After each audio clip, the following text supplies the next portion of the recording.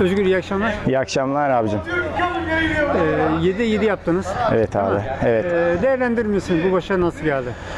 Valla öncelikle tabii ki e, takım olarak hocamızın söylediklerini yani bir fiil sahada uygulamaya çalışıyoruz. Elbette yeni bir takımız.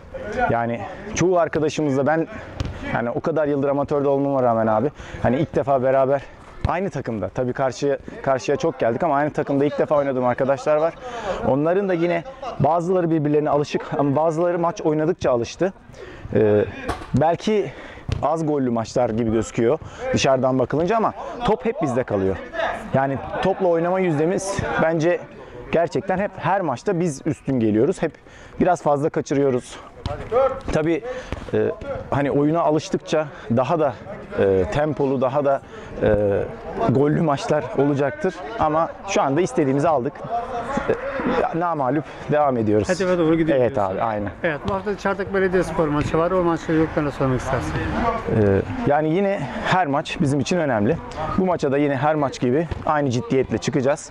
Çünkü bizim için sadece galip gelmek değil, e, yani e, hem gol yemeden hem de e, güzel bir şekilde e, playoff'a kalmak hedefimiz. Playoff'ta da elimizden gelen yine en iyisini yapıp bu takımı Süper Amatör Ligi kazandırmak amacımız bu abicim. Peki kaleci olarak sen kaç gol yedin şu an? Şu anda e, bir gol yedik. Çardak maçında sadece gol yedik.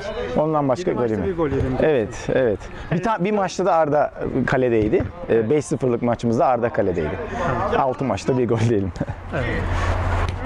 4 grupta evet, 4 grupta da şu anda en az gol yiyen takım biziz ve bunun en büyük de başarısı bizim e, hani defans attığımızda da stoperlerimizi yani onları da unutmayalım. Takım- takım olarak hepimizin evet hepimizin başarısı. Yani onları da unutmayalım.